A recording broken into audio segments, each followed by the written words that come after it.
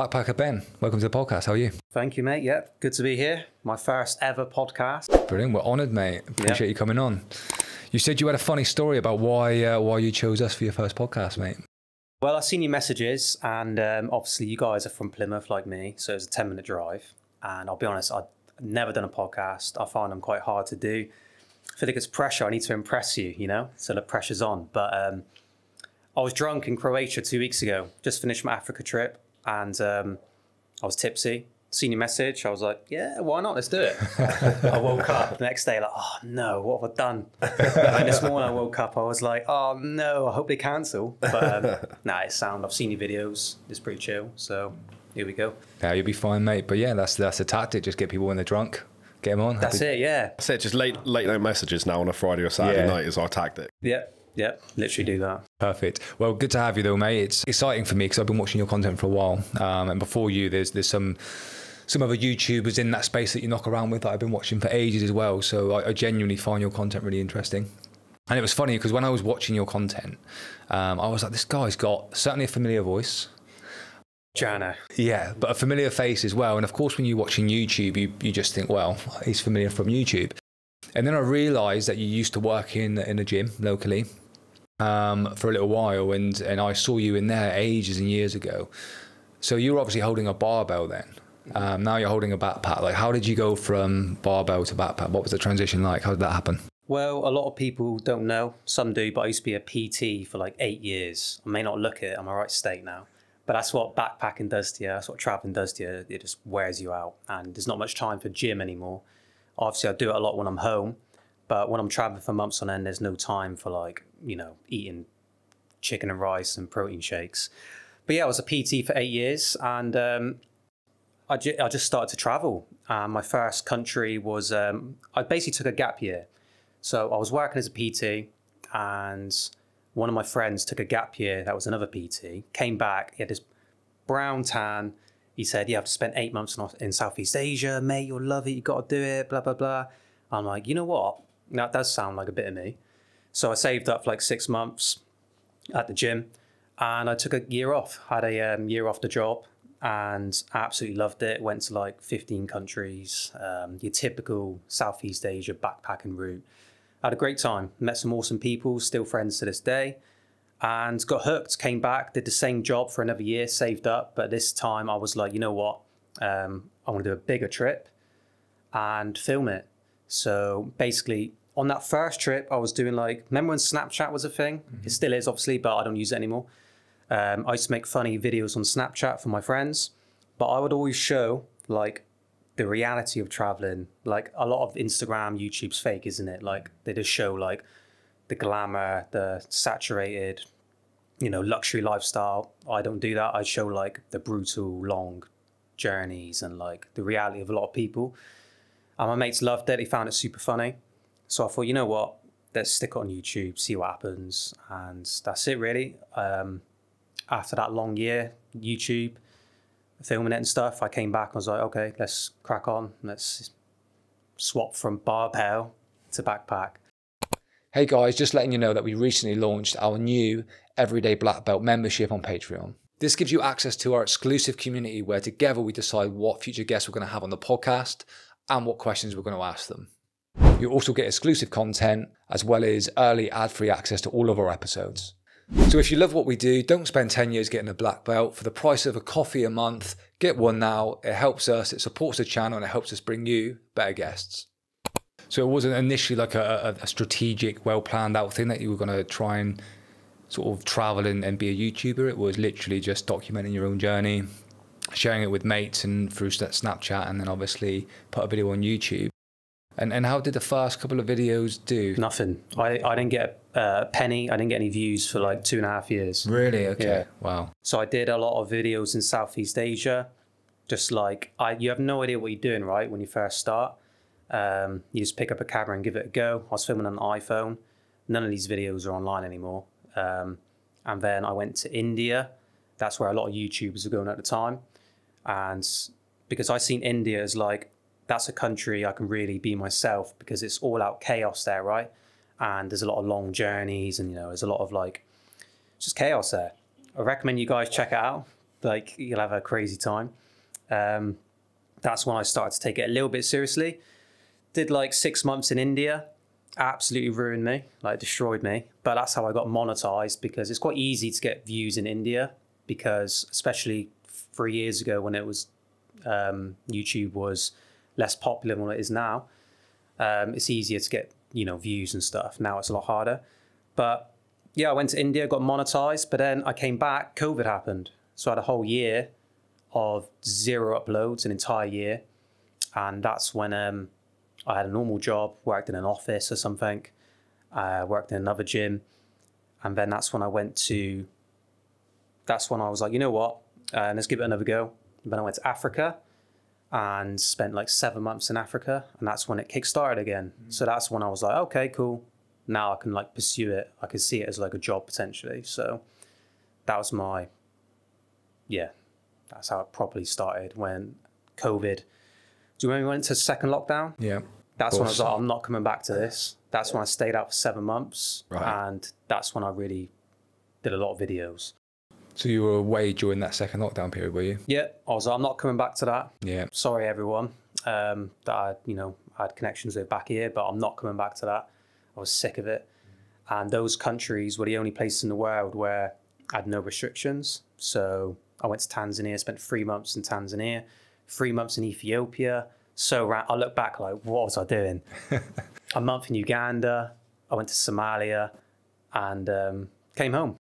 So I'm just interested when you were in those places, obviously looking out at the rest of the world who were in lockdown and had all these restrictions. Oh, what was the view both for you and the local people in those countries like looking out at that? Oh, I felt guilty because I was out partying every single night in Tanzania, beach parties. There was zero restrictions, like zero. And everyone, there's an island called Zanzibar just off the coast of mainland Tanzania that was full of tourists, like full. And every night was party. And I'm looking back at my mates like, oh, yeah, we're back to four people in a room rule. I'm just like, guys, like, oh my God. Felt bad. I'm putting it on my you know, Instagram and stuff. And um, but yeah, it was just different out there. So yeah, I felt super bad for everyone back here in lockdown. But I just wanted to live my life. Uh, fair enough. Did you do uh, Killy while you were out there? Who? Kilimanjaro? I seen it. My mate did it, and he's a fit lad, and he struggled. He couldn't complete it, and I wanted to do it, but it was expensive. It was like three thousand pound minus the tips. So you had to tip the guys at the end. So you're looking at like close to four grand, mm-hmm. and it's like seven days or something. Yeah, I think so. And I was like, oh, you know, I don't want to do that. Um, I would like to do a long, challenging trek. I've done quite a few, but Killy, yeah, maybe maybe I'll do it another time. No, fair enough. It is hard. My mate said they were carrying a body down on the way back. So I think like 30 people die every year Is it? doing. I might be wrong there, but I think that's right. Okay. It's hard. It's just like a flat terrain, gradual incline. Yeah, that's it. Yeah. Yeah, I looked at it years ago to go, and um, I think I was looking at the Machame route, which I think was five days up and then like a day down, but that's quite a hard route, I think, as you said, there's slower ones. But you know, going back to the lockdown thing, I did, I did, I, I was looking back at all your early content, and I did notice that you started, I think, around 2018, and there was obviously that period. So I was curious to see how you navigated that. What what sort of uh, subscriptions are you on now for YouTube? It's quite big, isn't it? Um, I think it's over 300k. Yeah, it's amazing, mate. Yeah. Brilliant, well done. Thank you. And when did you see that really kind of pick up? Um, well, I know you want to ask me about Mr. Bald. Yes, it picked up point. massively when uh, obviously I started traveling with him. Before that, I predominantly like an I guess uh, Asian audience because I've just gone to Asian countries, and now I've got predominantly a UK based, US based, Australian, Canada. So, yeah, obviously I thank him a lot for helping me in that sort of boost of subscribers. Yeah, I think it's 300k or something. Yeah, yeah. 300k. I, don't, I don't care about numbers. I just care about the engagement and people watching. But yeah, grateful for everyone that watches and subscribes. It's awesome. So we'll come to uh, to to your friend there in a second, Mr. Bald. But that's sort of go through a bit of a timeline, I guess. I'm, I'm curious to to maybe go back to that first trip to India, Mhm. and I guess for you to to maybe tell us about that experience. So maybe you know, was there a was there any point where you were scared? Like, what was the the, the, the sort of best memory you've got of that experience? Talk us through that trip. Of India. Yeah, So India was probably the most. That was the first place I went, which you can probably say is extreme, because no one's really going there, right? It's not on, not online. Obviously, Bald was going there um, with his mate Harald. They were filming it, and actually watching their videos. That's the reason I went because it was looked funny. It looked a great time, and the places I was going was was a bit it was touristy, right? Thailand, you know, all these places. I was like, I need something extreme.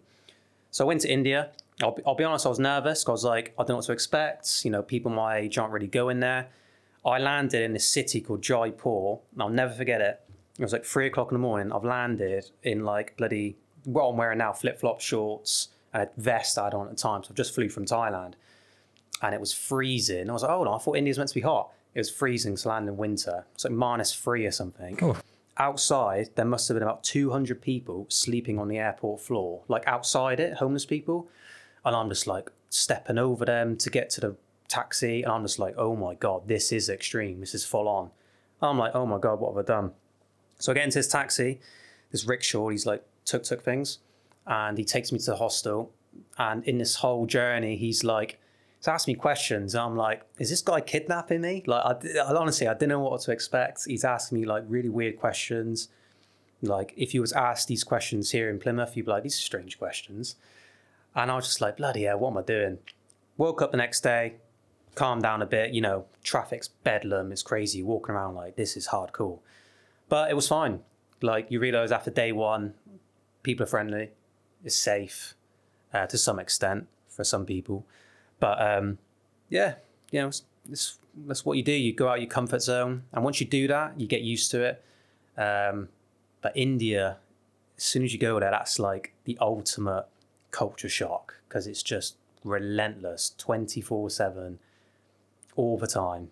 But you adjust to it. You used you get used to it really quickly. And I've been back like seven times now. yeah. Yeah, is, is Goa in India? Goa's in India. It's a beach beach place. Yeah, I've, I I know a couple of people have been to Goa. I don't know how real like India that is though. I don't know if that's more sort of Yeah, it's touristy an old. Portuguese colony. Um, I, re- I went there actually like three months ago. Um, it's just where the Indians go for like holidays and stuff. Okay. So yeah, it's Yeah. like their version of Magaluf, Okay. Benidorm or something. Yeah, I think the um, I, I know I, I work with a couple of um, people from India at the moment, and it, it seems they're quite like liberal and relaxed over there. They, they drink a lot and stuff. I think. Yeah, what, what yeah, are the people in huge. India like? Yeah, they love to party. They love it. Yeah, you can have a great time there. You can have a laugh. You just got to be careful with like certain cities like Delhi, Mumbai, um, Kolkata, all these big, hectic cities. Um, not not really my cup of tea. The best part about India is going into like the north, the Himalayas, uh, northeast India. You've got these like small states in the northeast that are like bordering China. Um, beautiful places, great people. Um, but yeah, as for like the main capital like Delhi, Mumbai, Goa, it's not really my thing. Um, yeah, so, but there's so much. It's huge. India's massive, like Yeah, it's so 1.5 big, isn't it? billion people, I think. And you'll be driving on like a tiny bit on a map, and you'd be thinking, when's this going to end? And it's like a 15 hour journey, and you've just gone this much on the, the map. It's insane. Huge base. Yeah. But I recommend anyone to go.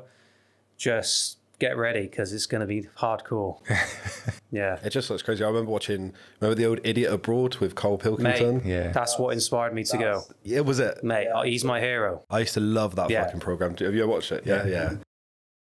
Yeah, that's all I think about India. Whenever I think of it, where he's like walking through the street, they're just what it's like, chucking shit at him, and Yeah. he's like, "Oh fucking hell!" That's what it's like.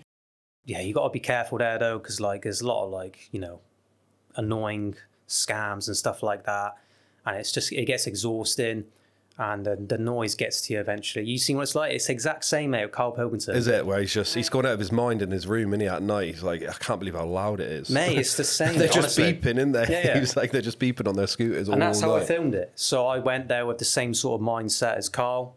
Um, he's just saying what it is, you know. He's like, you know, this place is crazy, Yeah. and um, that's what I did as well. I think it's a really good way to do it because it's so relatable. When you're watching that sort of content, you can imagine yourself being in that hotel room, being like, "Oh, I hate this." yeah, yeah. Yeah, it's so true, mate. That's that's that's literally why I watch your content and, and similar content is because I want to see what these places are like to visit. Mm-hmm.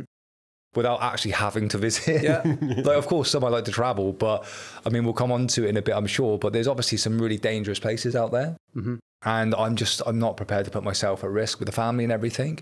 So I want to live vicariously through someone else. And, and you provide that for your channel, which is amazing, which Yeah. is why I enjoy your content. Um, tell us about Ethiopia. Ethiopia, um, yeah, I was there for three months, mainly because that was the. Um, I left Tanzania after three months, and I was like, where can I go now? That there's no lockdown. Crossed into Ethiopia, same thing, no lockdowns, um, nothing. And you just make friends there. And I met a lot of friends that were British Ethiopian. And at this point, I'm doing videos in Ethiopia. I did like 15 videos or something. And I got okay views, but um, a lot of British Ethiopians watch it. So diasporas, I think the word is, and they're living there now in Ethiopia. Linked up with them, and they gave me loads of advice, where to go, what to do, and yeah, I'd spent. Looking back, can't believe I spent three months there. It's nuts, but yeah, to set up a little base, had the same hotel room for three months, and yeah, it was all right. Um, I went to some dodgy places in Ethiopia. There was a war going on as well at the time in the north between I think Eritrea and Ethiopia. Like there's proper like civil war going on, so you couldn't go to the north. But I went to a, a place called the Afar region, which is on the border of Somalia and Kenya, I think. And that place was nuts. There's no laws there, so they say to you, their government website even says if something happens to you in this region, you're on your own. So I was like, I'm going. so I went there. Yeah, I'd look at that and I'd avoid that like the plague. I'd be like, I was nervous. It's also the hottest place on earth all year round. So I was there when it's 52 degrees. no way. 52. Um, I think the hottest place in the world is like in Iran or I think it's in America actually, in Arizona. But all year round it's in this place called um, Afar region in Ethiopia. So I went there and it was so dangerous. And um, yeah, I spent three days traveling around to volcanoes and stuff like this and these like craters. But there's a group there called Al Shabaab. I don't know if you know Al Shabaab are. It, it kind of rings a bell. I Doesn't think, it? are they, are they Islamic? Yeah, they're um, Somalia based. They want to. I think they want to take over Somalia. I might be wrong there. I don't know. But there was a bomb yesterday in Somalia, and they were responsible for it.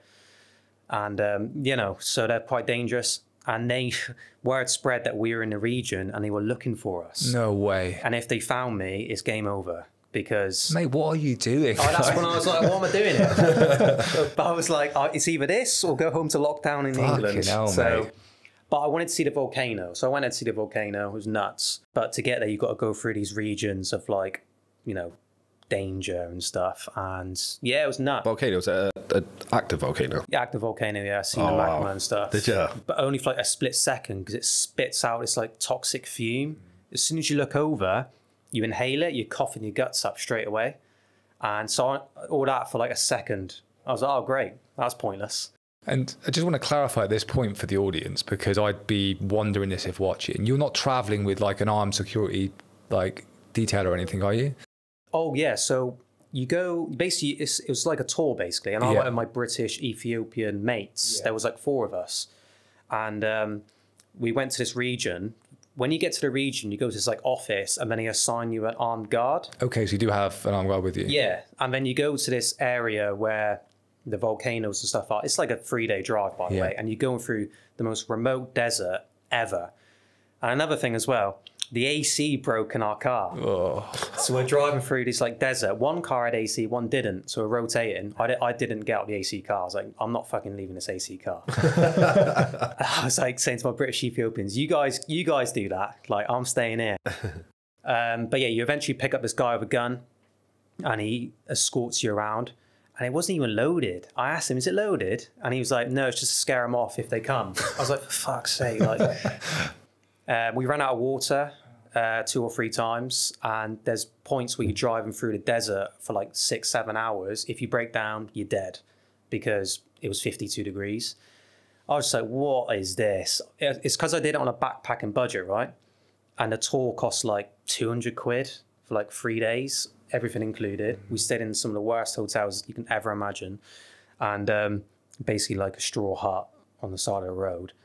And it was nuts, mate. Honestly, it was nuts. But you get assigned a guard with a gun, but obviously it was pointless. But um, yeah, these this region doesn't have a law, Yeah. so anything happens, you're on your own basically. Yeah. And the rest of the time you were just moving around like this region or, or that part of the world, did you have any security then or was it just for that trip? No, that was just for like two days. Right. Okay. And then you solo again Okay. for the rest of Ethiopia. But you got tribes in the south. We went to the south of the tribes, um, and in a place called Omo Valley, and this is like proper tribe. But like this is um, extreme, and they've got all these like tattoos and stuff, and they have these like lip things. Have you seen this before? the discs. Yeah, the lip discs. So we went to see them. Uh, you don't have a guard for that because you're giving them money, so they're happy for you to come. But Ethiopia's, um, yeah, it's it's another massive country. There's so much to see, and so it's so different each region. It's not like Plymouth is, and then Newcastle. You know what I mean? It's we've got a different accent. There, it's like you've got tribes there, you've got Al Shabaab up there, and you've got mountains on the left. It's crazy. It's an interesting place. And when, when you found out Al Shabaab were looking for you, how- Terrified. How, did you find that out first of all? So the locals, we went to there's like desert towns every like six, seven hours, and they came up to us. Obviously, spoke in the local language. Um, I forgot what it's called actually. And all of a sudden, this uh, the locals like panicking a little bit. I'm like, "What's going on? What's going on?" They goes, "Oh, Al Shabaab are like looking for you guys. They've heard you there." I was like, "Oh my god!" And um, yeah, they were just looking for us. Don't know what to do, but I was like, "Shit." Did you leave the country at that point? No, I was there for another month after that. Fucking hell, But mate. you're in a different region. Right, okay. So like um this is like 15 hours away from the capital. Yeah. So there's there's loads of uh, tourists that go to the capital of Ethiopia. Um so they're not going to come look for me in Addis A- Addis They were just Ababa. trying to pick you up if you were in Yeah, the area, exactly. basically. Yeah, we're in a, we're in their area, so they're like like I said, there's no laws there, right? But I didn't know they were there till I got there, and I was like, right, let's get out of here. Yeah. But we still had like another day of driving, so yeah, it's crazy. So terrifying, mate. I, when I was quite young, I was a bit naive. Then I went to I went, to Egypt for the first time. Oh, yeah. And I went to uh, Taba, which was up in the north near Israel. And I can remember when we got the bus, we flew into the airport, which I think was like the the smallest smallest international airport in the world at the time. It was like an ex-military airport. And it was absolute chaos when I arrived there. It wasn't like Sharm. No. Completely different. And then we drove on a bus like from the airport to the resort through like the Sinai mountain. And there were two armed guards on the bus. And I can remember like not expecting that at all. And seeing the armed guards and thinking, why the fuck do we need armed guards? I'm now shitting myself. So I can only imagine, mate, like how you must have felt in that sort of place When with you're no in those law. situations, it's crazy, isn't it? Egypt's Yeah. like that, yeah. Sharm Yeah. el Sheikh's a tourist place. That's where a lot of the tourists go. And Hurghada, I think it's called, um, and a couple others. Um, but when you go to rural parts of Egypt, it's extreme. Well, I landed in Cairo. Cairo is just I've been to Cairo, mate. It's the most the most insane city I've ever been to in my life. oh, it's, there's no words. But I went to on the west towards Libya and Siwa. It's called Siwa or something, and um, you got to get like a 15 hour bus to get there. But there's so many military checkpoints. They get off. That you have to get on, get off. Bloody, they've all got guns. They're checking for your bags, asking you questions. Oh, you journalist? Blah blah. blah. 'Cause they see your camera, right? And I'm like, oh god, here we go. And they hate the camera in Egypt as well. They're really bad with it, aren't they, in Yeah, Egypt? yeah. Because um, I watched the World's Best Food Reviewer. Have you Yeah, ever watched I him? love his vids, Sonny? mate. Yeah, I So love uh, his vids. have you watched his one where he goes to Egypt? Seen it, mate. His experience is exactly spot on. That is wild. He went on Joe Rogan. Yeah, yeah, and I w- I've watched him for years. And then the one who went to Egypt, mate, you can't believe it. Like they basically like confiscated all his stuff, Yeah. Give it back to him. They followed him round, like they were like harassing him. what He it's had to like get like he basically like trying to lose him. They kept every time he was filming, they would come up and go, "What? What have you just filmed?" Yeah. We're like, oh, nothing. And then he was hiding content. They confiscated it, give it back, confiscated it. Mate, it, it was a different level, wasn't it? Is that was like for you, was it? Exactly the same. Yeah, you can't relax. Even you're at the pyramids, you're filming it. People come up to you like claims to be police. What are you doing? Mate, I'm at the fucking pyramid. Like, I'm doing a video. They're like, no, no, no, you need permit. I'm like, oh, they're after some money or something. Um, it's non-stop there, honestly. Yeah. Non-stop. Uh, one of my least favorite cities is Cairo. See, I was going to go there a few years ago, and I, my mate went there, and he put me off so much Yeah. from it. And a few of my family members put me off so much from it. I was like, you know what, I'm not actually going to go. I went Tunisia instead, and that was terrible. Yeah, I've been there as well. We didn't leave the resort, mate. It was, uh, yeah, honestly, sometimes it's not worth it in certain countries. Just book your ho- book your holiday resort and stay there. Yeah, that's what we done in Tunisia. We we got to Tunisia, went down the road in Kirsty. We was only like 22, 23. Kirsty was blonde, blue eyes, and they literally went, "Do not get in a taxi." Yep. Because there's been kidnappings of blonde girls. Um, don't do this, don't do that. So we were like, all right, so we can't basically leave our hotel. It's They were true, like, yeah. And I was like, what's the point of coming? Yeah. What's the point of Yeah, coming? mate, I was in Cairo with my girlfriend, but we were like again, sort of on a guided. It was like a, a trip to the pyramids, the shops and stuff. Guided tour, best way. Yeah, and she, she was like she was dark hair, which kind of helped a little bit, but she was quite tall and slim and had tiny shorts on. I can remember the first time we stepped off the bus in Cairo, mate. It was like. It was like a mix between a car crash and a western film where everything just screeched to a halt. Everyone started like hanging out the car windows. I was like, we need to get off the Awful. They street all called right Kirsty away. white chicken, and I always laugh about it. They used to go, white chicken, come here, white chicken. Oh, and I used to be like, that's boy. I used to be like, leave her alone. Yeah, leave her alone. Like it's, it's relentless, mate. We used to be on the beach, and the, the complex was on the beach. Yeah. And we'd be sat on the beach, and they'd be like trying to wake us up, calling, "Oh, white chicken, come with me, come." On. I was like, "This is Shocking- fucking shocking wild, isn't it?" Yeah, I remember with Cairo when I was driving in because they got the massive roads there, haven't they? They're huge, like five or six lanes. And I can remember driving in, looking out the bus window, and I saw a guy trotting along on a, like a, on a cart being pulled by a donkey, um, towing something on this motorway basically. And this like brand new Audi like swooped by and just cut him up. Like nearly caused a donkey to, to, to buck and everything and, and just drove off. And I remember when I got to the city, I thought that that was a good reflection of the city in the sense that you'll be in the city, it's an absolute shithole, looks like it's a bomb site, and then you've got a really posh like car shop at the end of it. It's just really bizarre. so random, yeah. Yeah, yeah. I'd never go back there. I've No. seen the pyramids. Get out. Honestly, it's my opinion. There's you apparently got new Cairo. It's meant to be quite nice, Right. but old Cairo is where a lot of tourists go. Non-stop. You can't relax. You know what it's like, and um, relentless. Yeah. One and done, mate. One and done. Yeah. So you've obviously been to, you know, the sort of Middle East a fair bit. You've been obviously a load of places, mate. I mean, where is like give us give us a quick rundown of some of the really obscure places that you've been, and then tell us where you feel like the most dangerous place was that you visited. from what the government, you know, says, you know, the, the 10 most dangerous. So I've been to Afghanistan, I've been to Syria, I've been to Iraq twice, I've been to Pakistan three times, I've been to parts in Brazil where the favelas and stuff are, Colombia, Somalia, well, Somaliland, this little area in Somalia.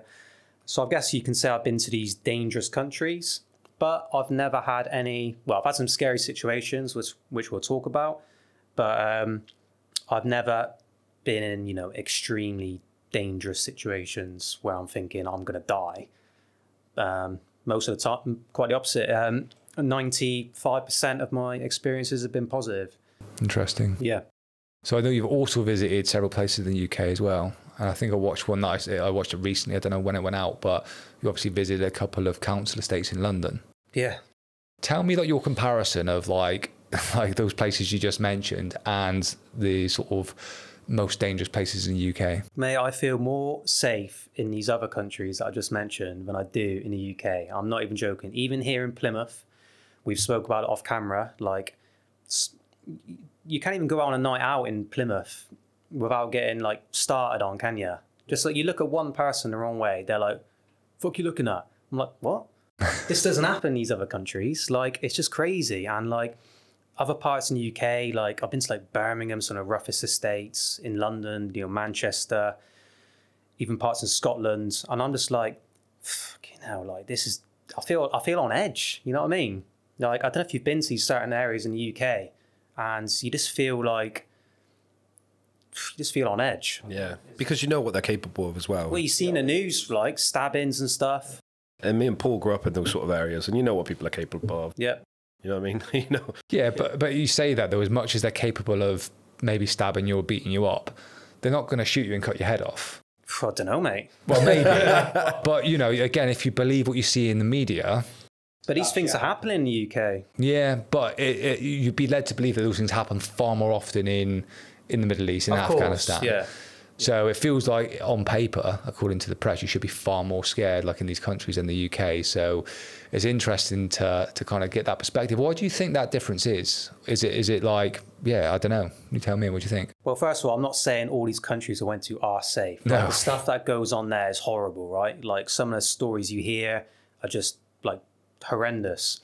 But I'm just saying, like, I feel safer at times walking around these countries and than I do in the UK. It's probably because you're a foreigner, right? You're walking around, they're not used to seeing foreigners, so like, hey, and they want to show the hospitality.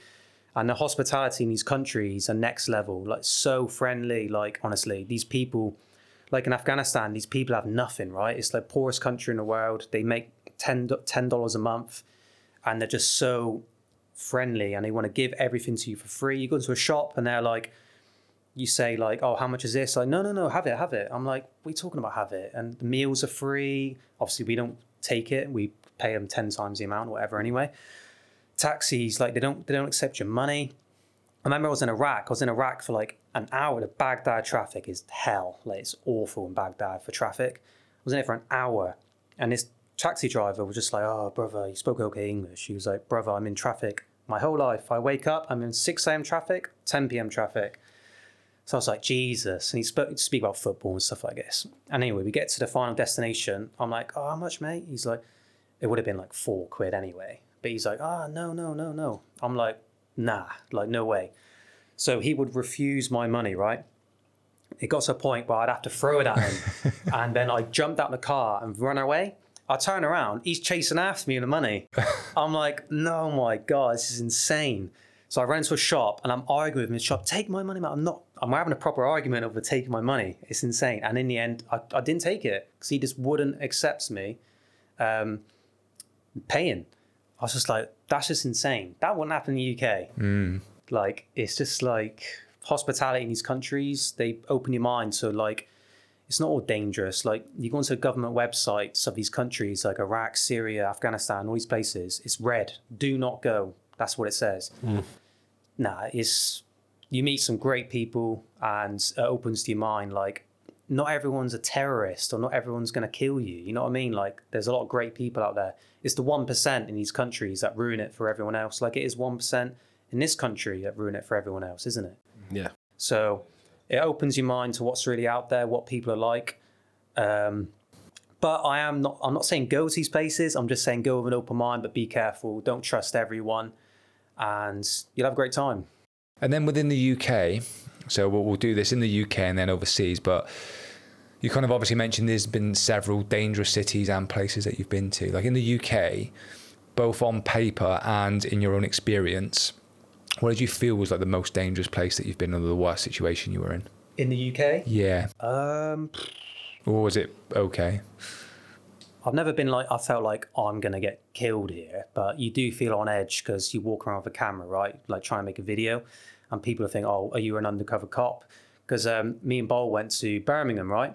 And we went to places where we stand out, and we're filming these streets and stuff. People thought we were undercover police, so all the gang, they I'm guessing they were gangs and stuff because you see a lot of drug dealings on the side, right? And um, in these certain areas in the UK, like they, they don't they don't hide it you'll walk past broad daylight. They're all dealing drugs and like I've seen people shooting up and stuff in like but broad daylight. I'm just like, what is going on? Like this is crazy. So me and Bald walk around with camera and they're like, police, police, like police, and they all run away. So yeah, there's certain parts of the the UK are just like crazy, and it's it's a shame because people think of the UK as this like heaven on earth country to come live, and then you go to certain areas and you're just like bloody hell, like this is the UK. It's like, yes, it is. so it's a shame. Yeah. And then same question, but yeah, overseas. What was that? That was my phone. So Oh, that was my uh, my watch buzzing for some reason. Telling me there's jujitsu class on that if I want to go. so yeah, so same question, but now overseas. So where was on paper the most dangerous place you've been to, and and was there ever an occasion where you, other than obviously El Shabab, another occasion maybe where you were like, "Fuck, I'm in real trouble here." Afghanistan, mate, I thought it was game over. Like, I was just like, I've got, a, it's a bit of a story. If I ran on, please interrupt. No, carry on, carry on. So sir. Afghanistan obviously got took over by America for a number of years. Then all of a sudden, one day, they picked up and left. They fled and left everything behind. So they left all their military, all their helicopters, all their military, um, what do you call it, like vehicles, tanks, you name it. They left it all behind, billions of it, and they just ditched it one day. They all left. So Taliban all came in, took over straight away, took down the Afghanistan flag, put the Taliban flag. Boom, this is Taliban Afghanistan now. So at this point, I was in Pakistan, right? For the second time traveling around. No, actually, that was a month later. So it was quite soon after anyway. So my mate Ben, not Bald Ben, this is another guy called Ben, who's an absolute nutter. He goes to some of these dodgy countries and doesn't even film it, doesn't even take photos. He's just into these like dangerous travel experiences. So he went and he was the first. He, he, we're in Pakistan. He was like, "Right, Ben, do you want to go to Afghanistan? I'm going. I'm going next week." I was like, "Fuck no, like no chance." Like Pakistan was intense enough because we were on the Peshawar border next to Afghanistan, guns everywhere. There's Taliban there. I'm just like, not a chance, mate, not a chance. So anyway, he went, and I didn't hear from him for three days. Right, I thought he was dead, man eventually he gets signal. He texts me and he's like, mate, I'm having the best time of my life. Like, you should have come. I was like, fuck's sake, I regret it now. Anyway, he did like a five day trip, came back, left. So, three or four months later, um, a couple other people have gone. Um, this Scottish lady called Emma went, right? She's a, a YouTuber and she's, um, I've spoken to her a few times. She went and she had a crazy experience. So I'm thinking, you know what, I'm going to go. At this point, I've met Bald. We did the UK road trip and we're still you know, we're still mates, st- staying in touch.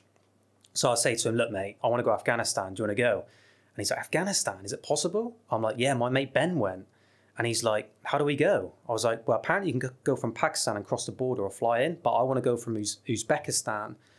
So I went to Ukraine. I did like um, a week in Ukraine during uh, during the war just to see what's going on. I, I went to like the areas and stuff, not the actual conflict areas. I went to the parts where it got destroyed and it was bad. And then I flew from there to Kazakhstan. Then I went to Uzbekistan. So I went to the Uzbekistan Afghanistan embassy.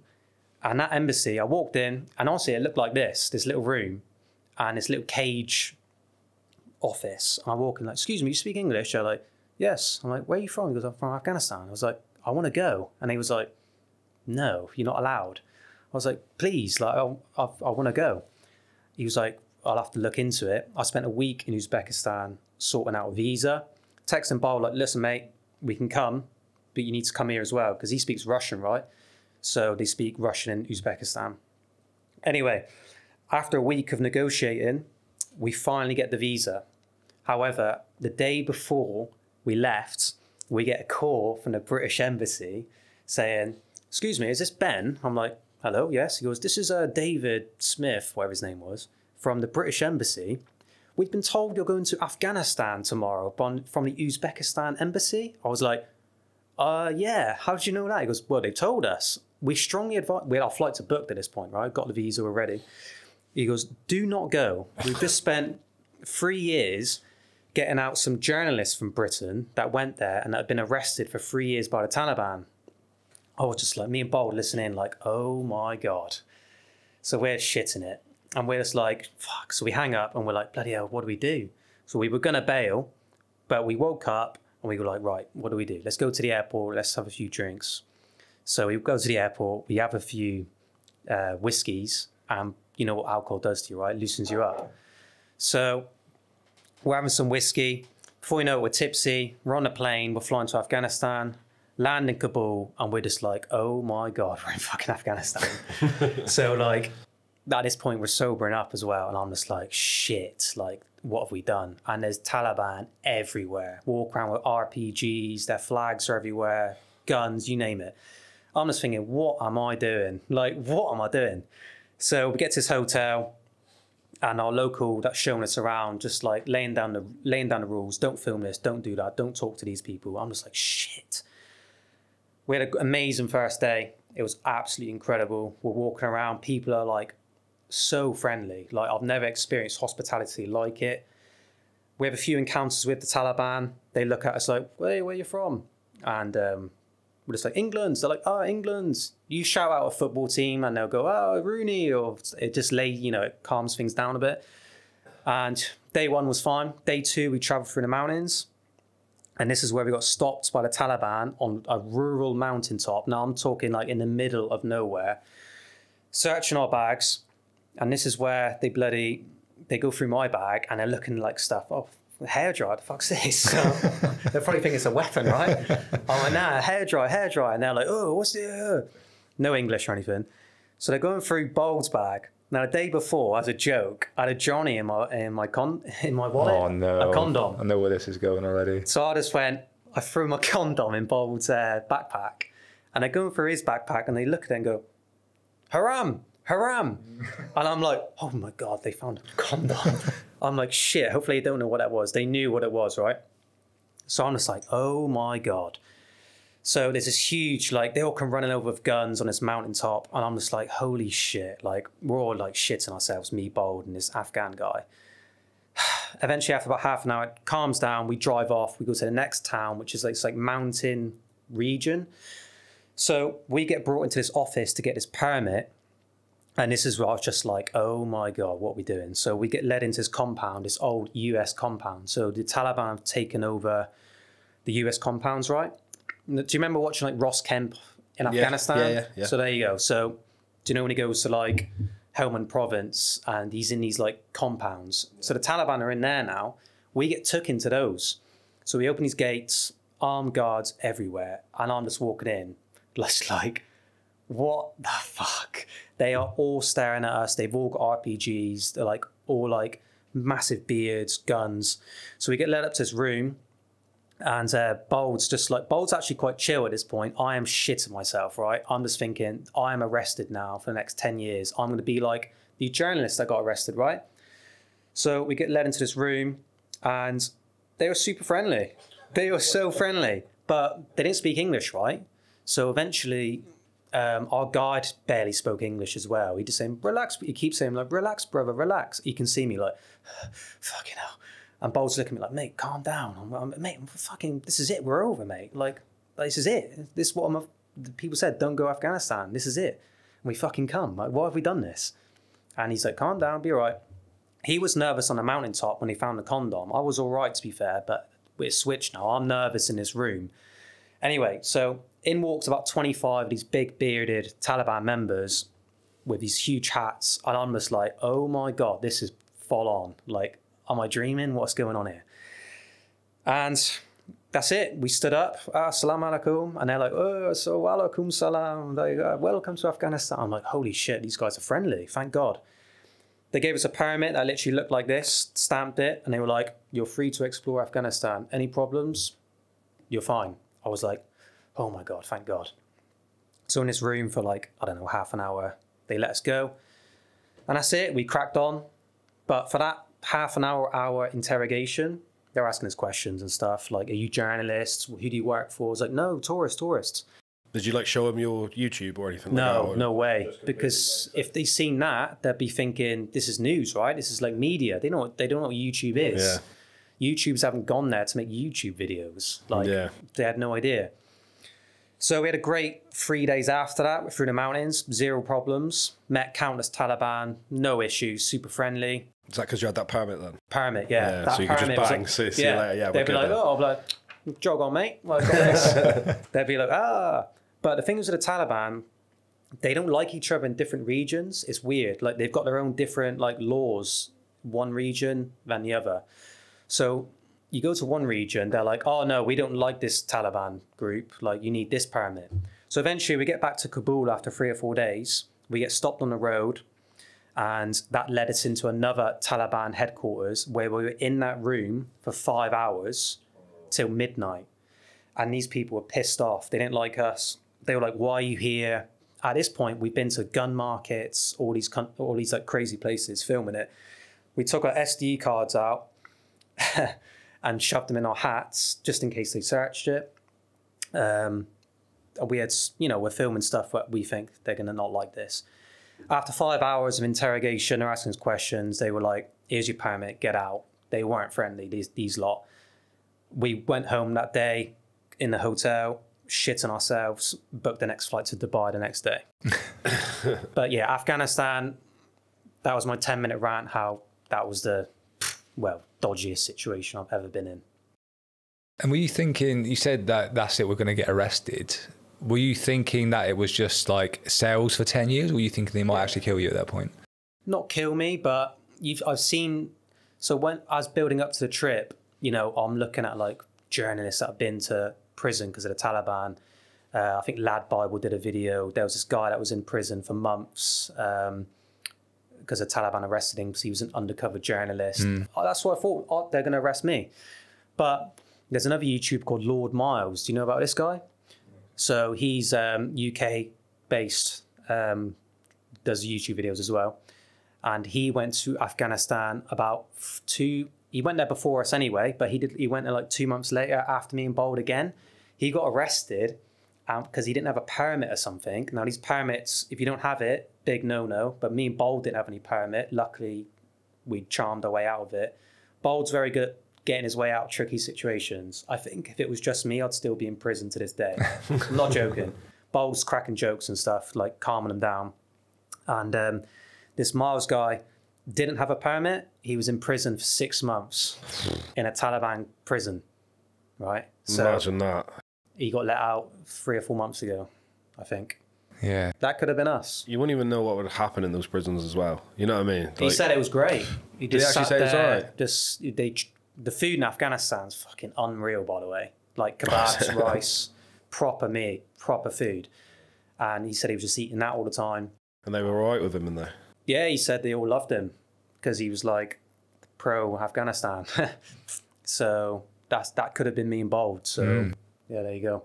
Wow, an experience. And was there any other occasions where you were maybe not in such a, a dicey situation, but where you were a little bit like, oh, this is this is not good? Um, well, certain countries like Syria, you'd think you would. Unfortunately, Syria is blown to pieces. It's sad because Syria's before the war, it was the most visited country in the Middle East in terms of foreigners going there. So UK would go there all the time, just for a holiday. Beautiful, it's incredible country, and had an amazing time. Um, not once did I feel in danger there, but you'd think I would have been, but I wasn't. Um, same with Iraq. I had no dodgy situations in Iraq. People are great. Same with Iraq, like the north in Mosul is all blown to pieces, super sad, but people are great.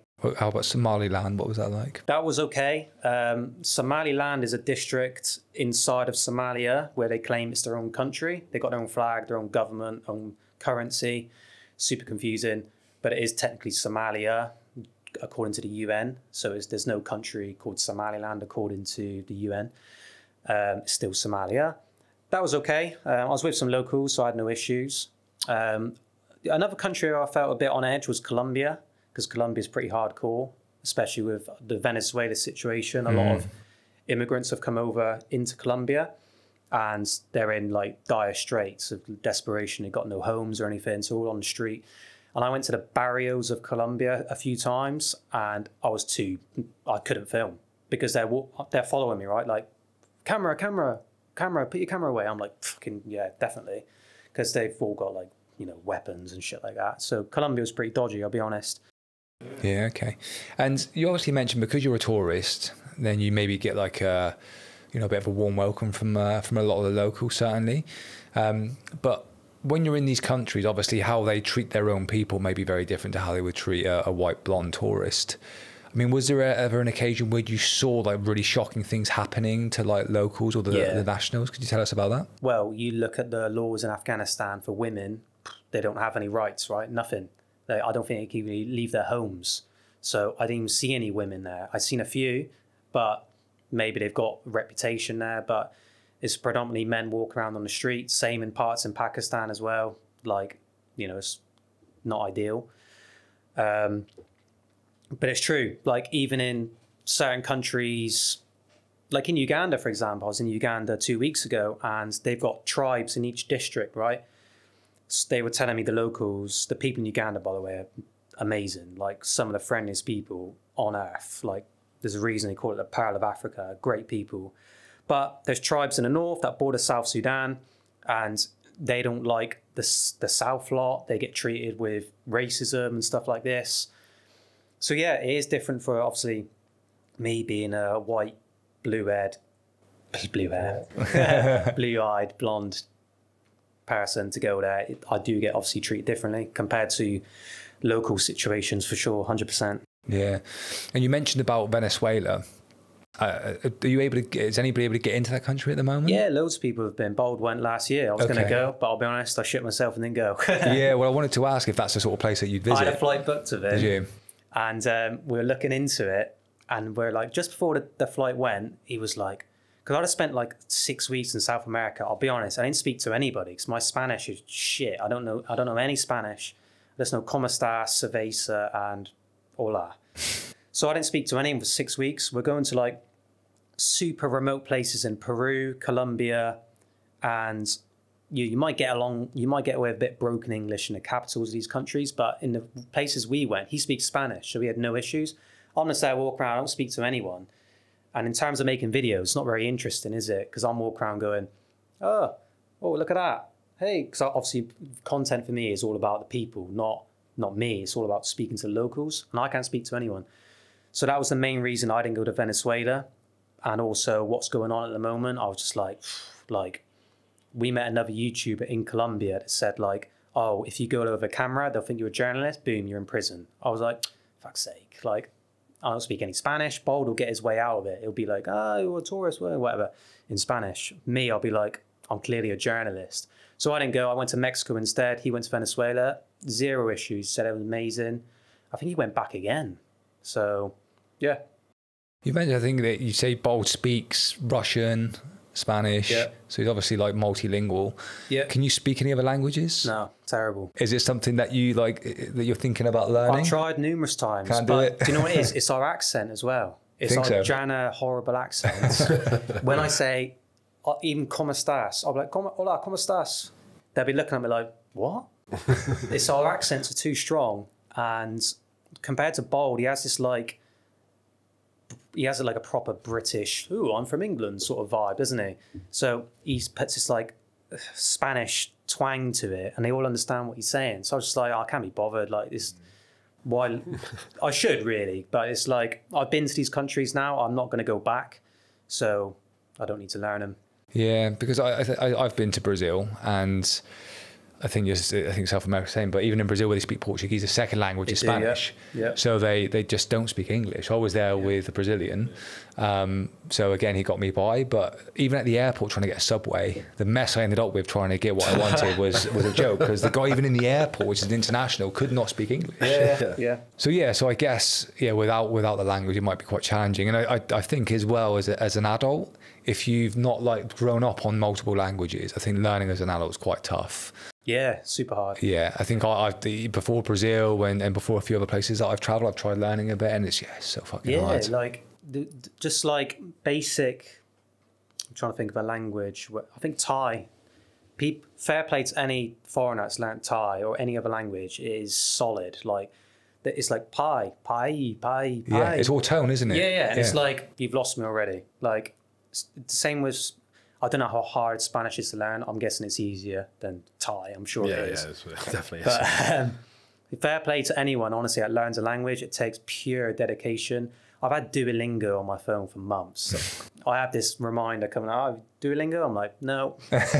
Imagine like learning Russian like that. Just blows Yeah, my mind. honestly. Even reading it or writing it, you know. But but I think the issue is well. I think English is quite different to other languages. I think it's kind of close to German in some degree, but from what I understand, speaking to people that are multilingual, English is quite a hard language. I watched a um, TikTok the other day about that, about like the different pronunciations I've of the same that. words. I was crying at it. I was like, yeah, if you're a foreigner, how are you going to know that? Yeah, but I think what's confusing, like Ben was saying then about like Thai, is they'll have the same word. Um, and they just say it with a different tone, which means loads of different things. Well, we've got like so many different words that mean the same thing. It's just so confusing.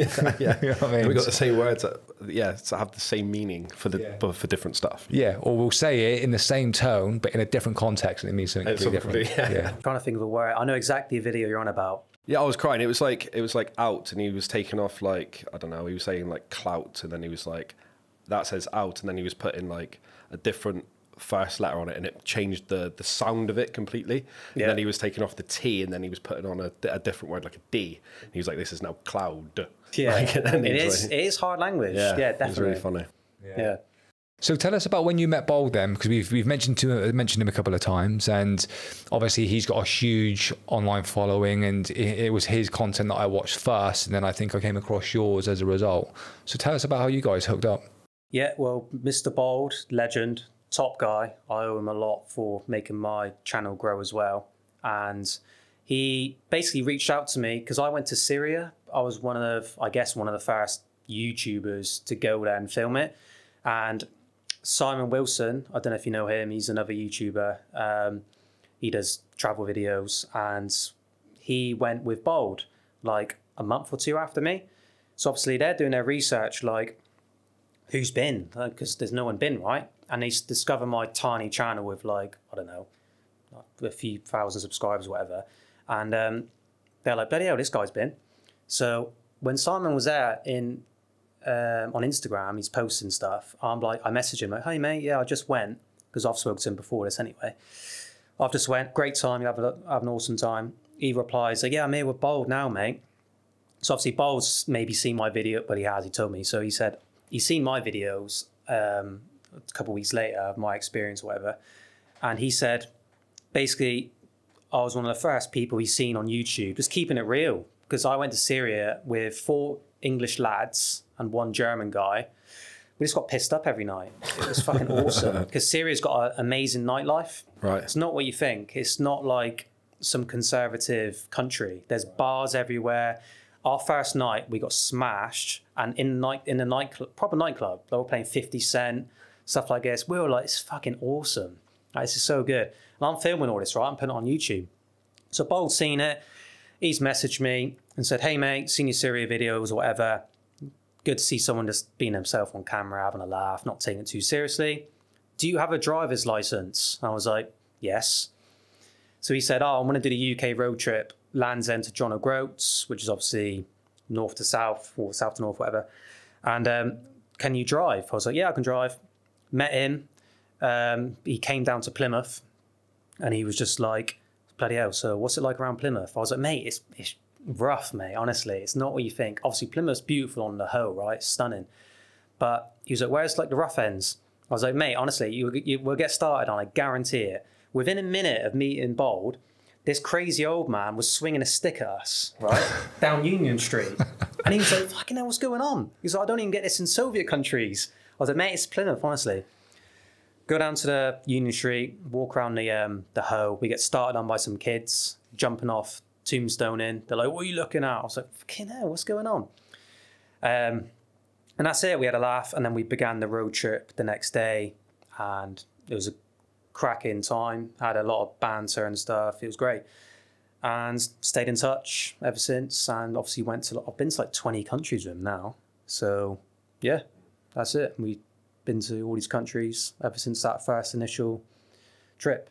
Yeah, mate. He seems like a really cool guy, actually. And I see what you mean when you said earlier about how, like, just kind of quite relaxed and, and funny seems.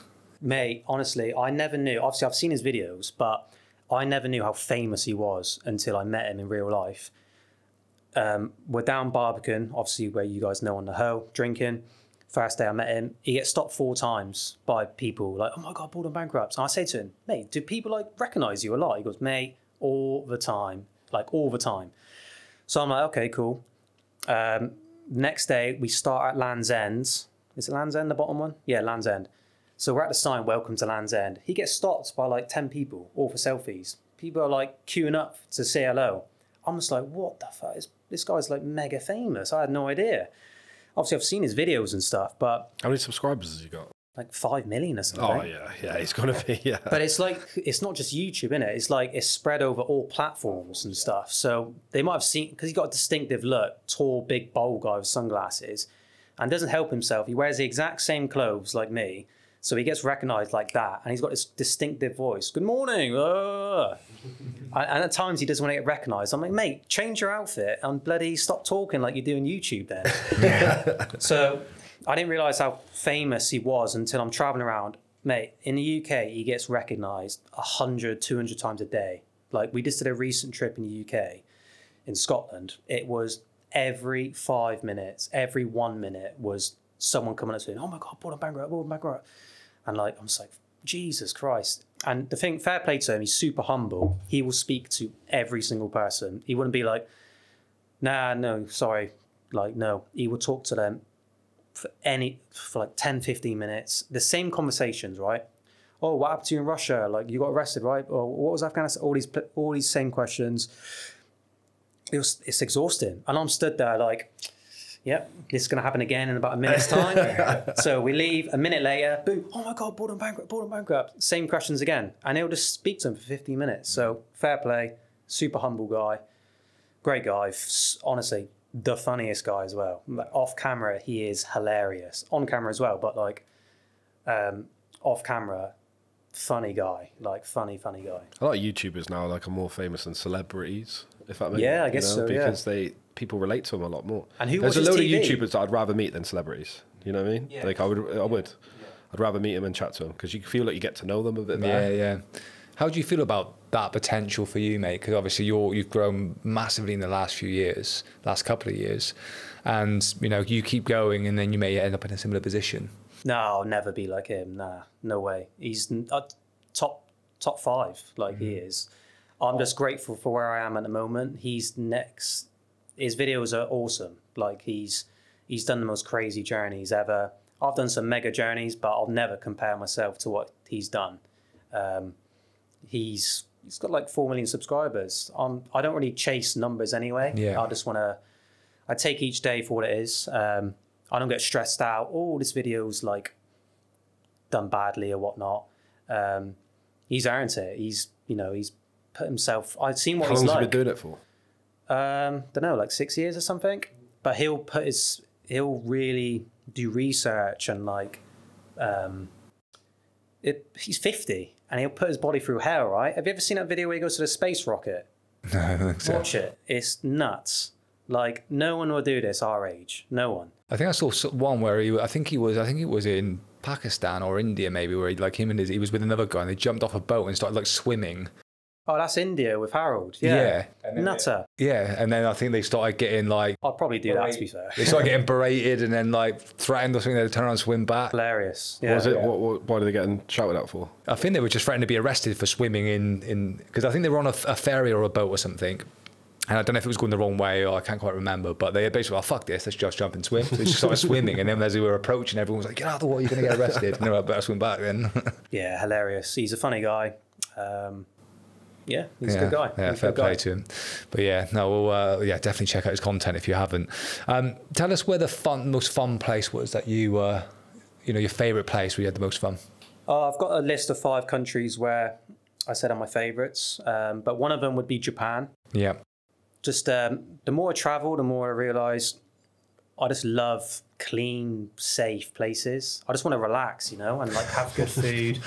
Japan, honestly, if you get a chance to go to Japan, it is it's one of my favorite countries in the world. It's awesome. The people are so respectful. It's super safe. I hate being in a country where you got to, you know, be careful of mm. pickpockets and like getting sick and all this stuff. Mm.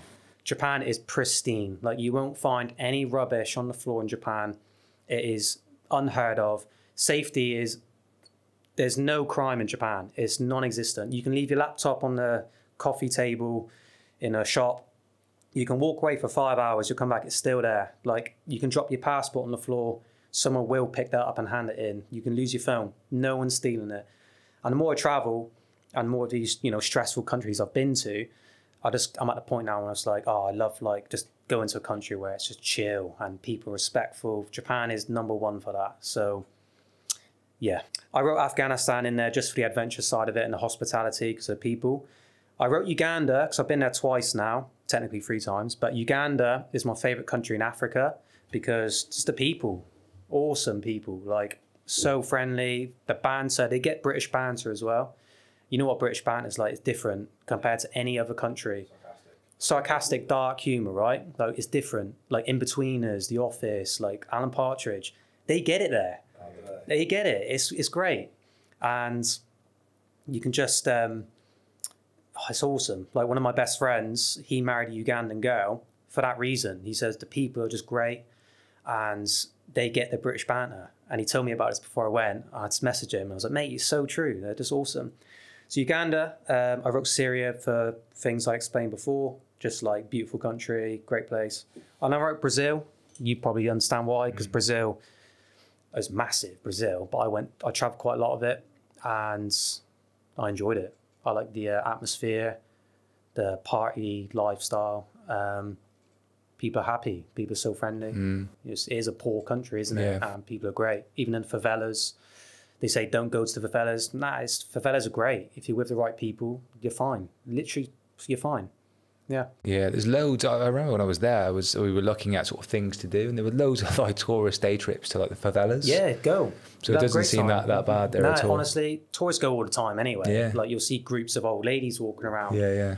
You'll have no, no issue. If you go there solo, alone at night, and you go, because you see drugs everywhere there, right? They're dealing crack and cocaine on the street, broad daylight. They've all got AKs. You walk past them. But if you do that solo at nighttime, they're going to think you're a policeman or like, what you doing here? They might question you. Obviously, don't speak English. So you're going to get into a tricky situation.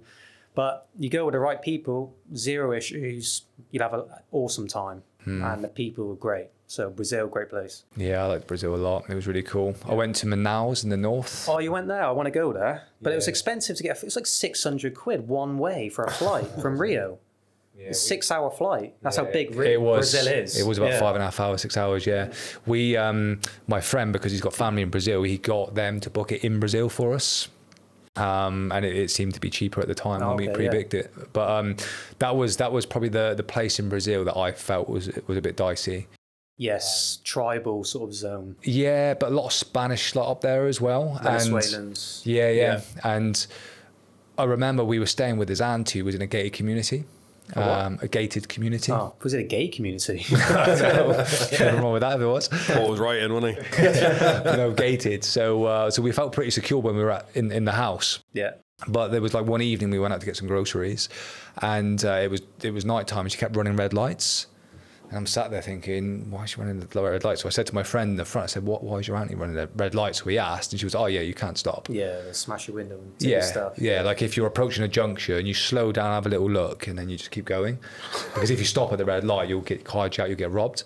And there was a section when we were driving down this street, and it reminded me of I don't know, like these old films that you used to see in like the ghettos in America and stuff, where it was full of like Spanish and Mexicans. And we're driving down, and literally it was like car boots open, like music playing out the boots, like people with like white, like baggy, baggy like jeans, wife beaters, Wife beaters, yeah. like in the street, just everywhere. And I was like, it sat in the back, like tinted windows, and I'm just in the back, this big fucking gringo, and I'm just like sliding down, thinking, fuck me, if they see me in this Yeah, car, yeah. they're just gonna stop it. Because my mate was very obviously Brazilian, so was his, so was his auntie. But yeah, I can remember being really intimidated going down there. Yeah, that's exactly how I felt in Colombia. Yeah. Those that a- those areas where I'm just like I am standing out like a sore thumb here. Yeah. But I wanted to go Manaus. Um, I'm actually going to go back to Brazil in January, so I'll definitely do that. Hundred Yeah, percent. Yeah. yeah, and then there's a, a national park there called Foz do Iguazu as That's well. it, yeah. yeah, that Yeah. was absolutely stunning. The waterfall. Yeah, Yeah. unbelievable. But yeah, now Manaus was really cool. We went into the Amazon for a bit on like a trip, Yeah. and uh, we went to a tribe, but it was like very touristy. Tourist That trial. was it. It was it like it was one of these tribes. You look at the photos, and they're all in the traditional gear. As soon like- as you leave, that comes off. yeah, Get their well, iPhones well, actually, before we arrived, we were stood like got off the boat and we're stood there, and you can kind of see like through the entrance of the of the village, and they got these gates, but there was a gap, and I can remember just st- and I was looking through, and there's just saw this guy walking along in a football kit, and he walked by and he stopped. They went. Scurried off and they come back in their headdress. I was like, ah! And I was like, mm. I was like at Dominican Republic. Yeah. We went to like this amazing cave waterfall thing, and the, yeah. the water was so blue. And then it was supposed to be the same thing, like a tribe, like kind of run it around there. Yeah. And then you seen them all up in the top when you come out of the cave, all in their regular like shirt and trousers and that. And then they come down and got changed and done it like a It's like tribal that in dance. so and many all that. places. Yeah, So but funny, I man. felt so bad though because they did like a traditional tribe dance, mm-hmm. and all, all the girls had got their boobs out and stuff, and you could just tell by their faces they were like, "Oh my god, this is so degrading, I'm so embarrassed." It's embarrassing, yeah. It's, you feel a bit awkward. Yeah, massively. Yeah, felt really awkward. That but in Ethiopia when I went to the tribes. They've all got their boobs and their dicks out.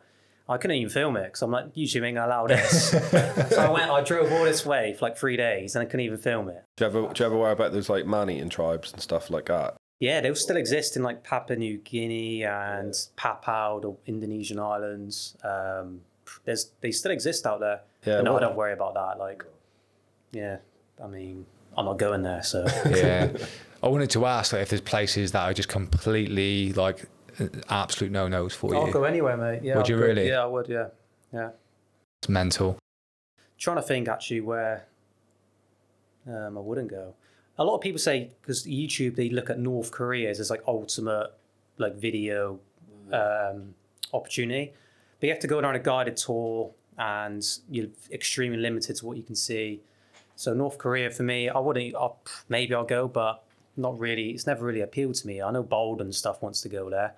I think it would just fascinate me to see what it's like 100%, actually yeah, I'd being love there. to Just go. you see all the fake shops and the fake, Yeah, yeah, I'd fake love to stuff, go, and yeah. you know what I mean. Just just maybe to see what it's really like. Yeah, you know, yeah. that would be that would be super cool. you like But at the same time, you're dicing with death, and you you know you get caught doing something that they don't like. You're you're, you're gone, and you're, you're in Yeah. prison for a long time. That's why I wouldn't go with Bald because me and him would be dicking around. People are cracking jokes and stuff, and I'm like, mate, fuck's sake, like Jesus. Yeah, mad mate. And then um, we obviously asked about your favourite places. Tell us about some of the like the, the the best experiences you've had. The single moments where you're like, this is fucking amazing. Oh, mate, so many. Just Top three. I couldn't even give you one top. It, just- it all like merges into one, doesn't it? Like more places you go, every country's got its highlight. Um, it's all about the people at the end of the day who you meet, and you can go to the you can go to a great country, but if the people if you don't click with the people, you don't really remember it.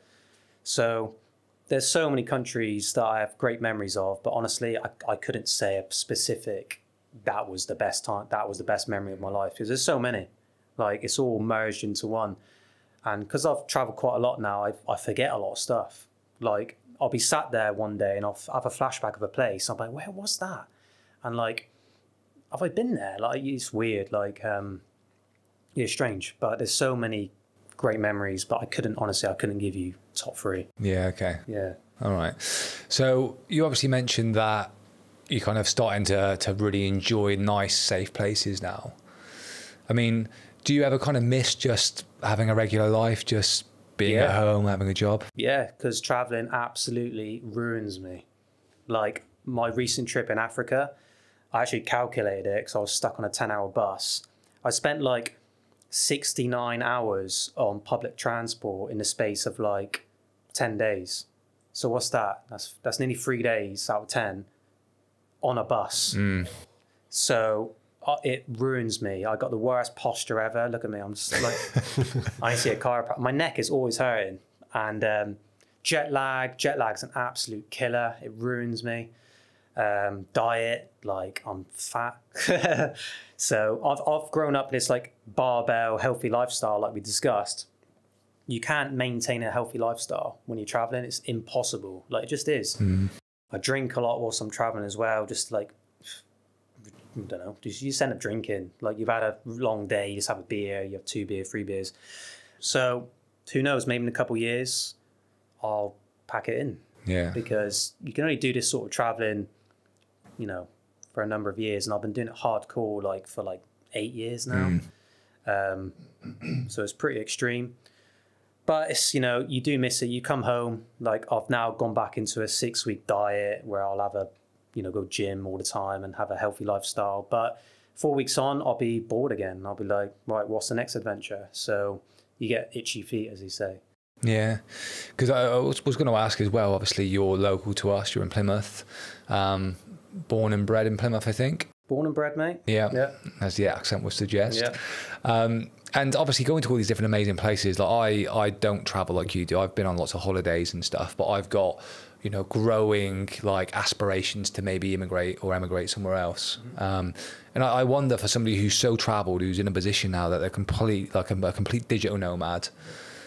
Like, why do you keep coming back to Plymouth? Is it just familiar and, and family? yeah, that's the main reasons. Home is home. End of the day, as much as I some sometimes hate living here because the weather's terrible in it. Yeah. Every day, it's just so It's shit. miserable, isn't it? It's miserable. Even summer now is Summer, not. it's summer's not summer It's anymore, not. Is just it? don't get a summer. It's just shit. It's like the news as well, like brushes over it as if it's like, oh, it's fine. and the crime rate here is a joke. You see the news, and you say, "Why am I living here? It's expensive." Like, just think, like, "What am I doing?" But home's home. At the end of the day, and your mates. You come close with my mates and family. I do love British culture. People think we don't have a culture. We do. There's nothing like British culture. And um, um, but will I live here in a few years? Maybe, maybe not. But there's only one place I'd consider living. That would be East Europe. Um, just I like East Europe. It's safe. I like I like those countries. They actually get four seasons, and it's a lot cheaper. There's loads of aspects why I love East Europe, but I would never live anywhere other than Europe. Yeah, mm. nowhere too far away from home. I've got people, I've got friends that live in Australia. It's like it's the other end of the world, like 12 hour time difference, whatever it is. How do you even speak to your family? You don't. So home's home. I'll probably be living here for the rest of my life. Yeah. Yeah. Where in Eastern Europe do you particularly like? Oh, I love Poland, Estonia, Latvia, these countries. Um, I've just come back from Montenegro, Croatia. You know, that's a bit south, but like these countries are awesome and love them. They're great. Yeah. Yeah, it's an interesting point you just made about the travel thing because I can remember you might remember last year I, with my job I travelled around the UK a little bit, and I think there was one particular week where I I think I had to go up to Manchester, um, and then back. And then I think we went up to Manchester for a podcast and back, and then I had to go in the the, the second week back to Manchester across to Hull, and then back. And I think I worked out that I was traveling like over the course of a week, like forty hours.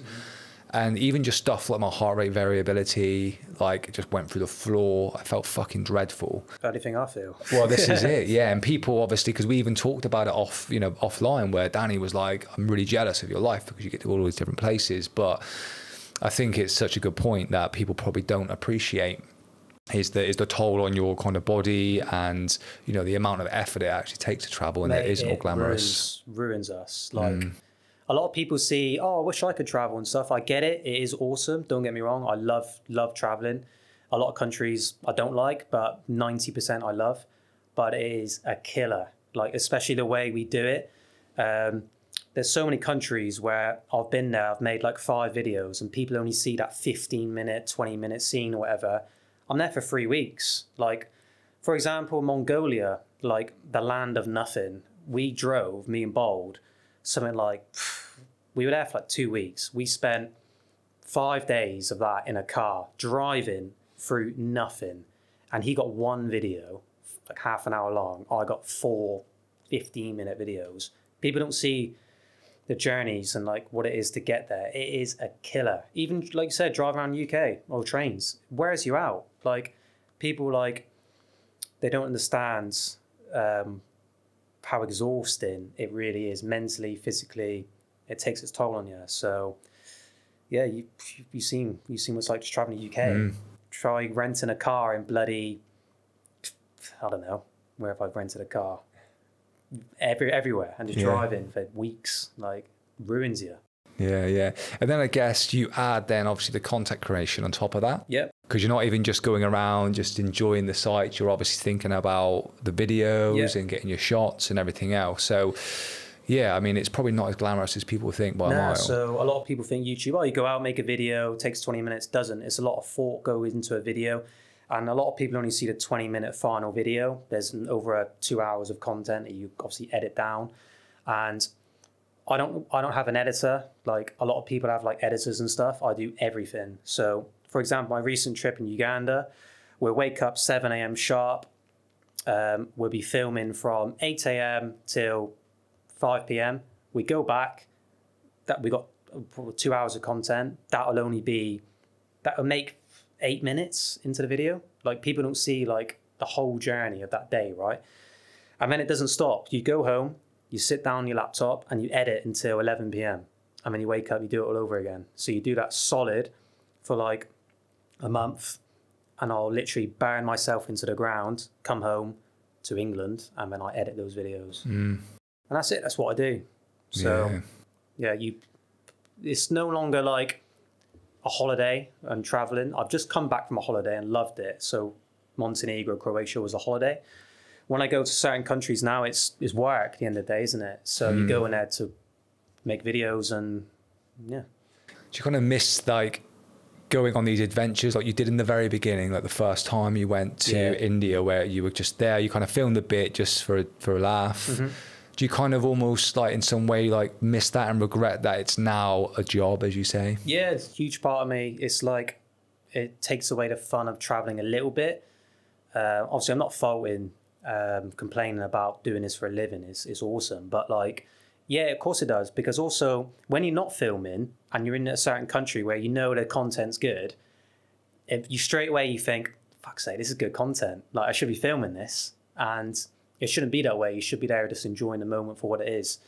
And but of course, I go to, I go on holidays. Like I've just been those places in Europe, and I'm going to go places at the end of December on holiday. So I won't bring my camera, and I've been to loads of countries where I don't film. And I'll be with people like, oh, you should be filming this. Should be filming this. Is good content. I'm like, it is good content, but nah, I'm not filming. Like, no way. Just want to chill. Yeah. What point do you think that you'll be able to get an editor, and or do you enjoy doing I that? don't. I've got. I've had editors like I've given. them- I've give. I've given a chance, and they just don't do it the way. They miss it. You Sound like they someone miss else certain things. you say like someone else I know. You know what I mean? Like you, you'll give them a task or something, and they'll send it back to you, and I'm like, "The fuck's this?" And you've got to change. You spend more time correcting their work than you may. Like you say, if you want a job done right, you do it yourself. So I spent three years or whatever it was editing everything. A lot of people don't realize as well, like you just fall into like YouTube. You, we work our bollocks off. Like they don't see ninety nine percent. It's like that iceberg thing, isn't it? That that photo. Yeah. They see that tip. They don't see the cr- massive mountain below that you've worked your ass off for. A lot of YouTubers as well. They want that shortcut, and I've met many in my in, in my time. They just want that shortcut, like they want that instant success. But it's like no, you got to work for it. It's like us, and that's all we do. It's the amount of hours we put in Yeah, compared to what we're getting out of it. It's, Yeah. it's not the same. But Yeah. you hope over time it switches the other way. Yeah, I did four years or whatever, um, three years or something of countless videos, and yeah, it, it takes time. And how does the perception change from the people around you? Like, so you were making videos and they're getting no views. Were you ever like getting taken the piss out of? Were you ever getting sly remarks or anything like that? Or were people supportive? I'll be honest, it's, it can be a bit um, when you first start, it's cringe, isn't it? Like you put Yeah. yourself on camera, and people are like, "Oh, what are you doing?" I'm like, Oh, we- "Oh, we definitely YouTube." Like, it's We've like, been there, yeah. like what a loser, and you're like, "Ah, it's embarrassing," especially you just start YouTube, Mm-hmm. and people, are, "Oh, what's your channel?" And you're embarrassed to say, aren't you? And I'm like, "Oh, backpacker Ben." They'll look at you like, "Can't even see it, mate. Where is it?" I'm like, "Oh, yeah, that's the one. Four subscribers." So they're like, "All right, okay." Um, I'll never forget. Actually, I met a Japanese. Not they weren't Japanese. They were in Japan. I was doing videos there like four years ago, and I'm filming. They're like, "What are you doing?" I'm like, "YouTube videos," and that's it's so embarrassing. I'm like, "Yeah, I had like ten subscribers," and they're like, "Oh, good luck with that." And they messaged me a couple of months ago, like, "Fucking hell, mate! Like, what? Fucking hell! I'm sorry for laughing at you." I'm like, you know, but it's all about not caring what people think. You only you only live once. Who cares? Hmm. Do it. Yeah. Like there's so many people that I've met, they have the personality to really make it work. I'm like, you could do it, mate. You could do it. You're funny as hell. And like, there's don't just It's putting yourself out there, mate, isn't it? putting yourself out there. For criticism, for all those types of things. 100%. And I think the biggest barrier for me personally, when we even started this, was just the people. I don't care what people think that don't know me. It honestly doesn't bother No, me. not It's more of It's more the people that know me and are close to me. I don't want them, them thinking I'm an idiot or a prick or yeah. you know. And that and that was the biggest thing for me. The biggest reservation was pretty much my close mates and Yeah. just thinking, "Oh, why is he trying this? What, Yeah. what a knob, you know? Mate, some of my best mates still to this day don't even ask me about it. They don't even say, oh, um, like, is that your job? They just think I'm traveling around making videos and stuff. They Yeah. still to this day ask me, oh, when are you going to get a normal job? I'm like, I'll I'll just say, oh, maybe next year, mate. Yeah, But they don't understand, like, I don't. I don't think a lot of my my, my friends watch listen to the podcast, but we've got f- listeners, Yeah, exactly, thousands yeah. of listeners all over the world. You Yeah. know, but they don't they don't kind of realize. I don't know if it's the same for you, but you know, I'll speak to them. They'll go, oh, "How's it going?" And I'm like, "Yeah, all right." So you're not listening then? They're like, "No, no." well, I, I, that's why I don't do podcasts because I hate talking about myself. I hate it. So I just hate saying I this, I that. I don't like doing it. So um, when I see my friends and I've just done these sort of adventures I've told you about, they never bring it up. I don't know why. They just don't bring it up. They don't say, "Oh, how was the Taliban?" and stuff like that. They don't. And I will never bring it up myself. So with this girl there, I haven't seen him in like three or four months, and we'll sit there and just be like, "Watch football?" I'll be like, "Yeah, yeah, yeah," and we'll see some bear, and I'm like, "Oh, look at her over there." Like, you don't talk about like Yeah, you just don't. It's weird. I don't know why. Even my family, we don't talk about it. It's it is strange. yeah, that is strange. I think a lot of people just, they, I just don't think they get it. Like you say, I think they certainly don't understand the graph. Hundred percent. That's the main one. Yeah, and I think you know we, we've obviously got day jobs, and this is by no means like you know our living yet, but hopefully one day, who knows? Yeah. But just like you say with the editing, he was laughing because I'm exactly the same. Like I, I always say, oh, I'd love to have an editor because it takes me like probably fucking 10 hours a week to edit an episode. Yeah. But equally, I'm like, I, probably, I don't think I could give it up. No. And I did a podcast for my employer as like the host. Mm-hmm. And they did all the editing, and I watched it back, and I was like, "Oh, I should have cut that bit out." And I was uh, there's loads of Yeah, I bits. can I was imagine so you were like, annoyed. pulling your hair They missed those little bits Yeah. that changes everything. Yeah, yeah. And you just like, oh, bollocks to this. Yeah, I've had like 10, 15 different ones.